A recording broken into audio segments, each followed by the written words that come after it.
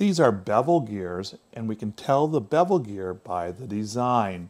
When you look at a bevel gear, you'll see that the outer edge sticks up much higher than the inner edge, which is much smaller. So they taper downward. So they have a tapered cut to it. It's like a spur gear with a tapered cut. They sit together in this fashion to control the power flow.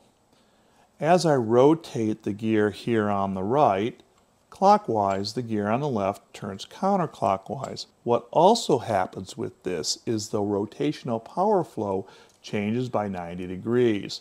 It was coming in in this fashion and going out in this fashion. So as we rotate once again, we change that power flow direction.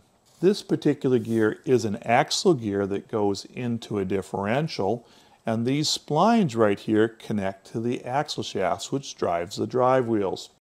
There's some other interesting characteristics about this gear that I want to point out. If we take a look right over here, we can see the shiny spot where the gear was making contact, but we can also see some lines of wear area. If you run your fingernail across that, we would be able to feel a little lip there. That is not normal.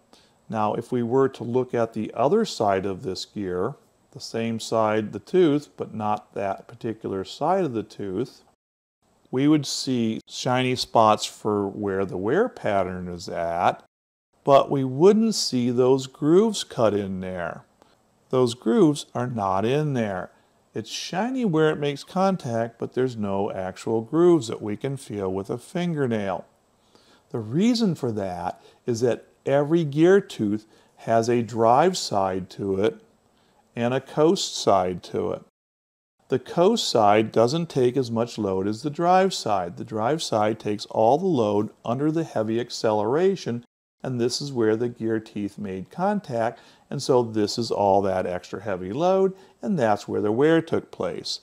As soon as you let off on the accelerator, the load changes to the other side of the tooth, and that's what we call the coast side, and that doesn't nearly take the same amount of load. If things get super excessive, you'll end up with a pair of gears that look like this. This one is totally wiped out. It ran out of oil. It won't transfer any power to this spider gear and this is totally stripped out.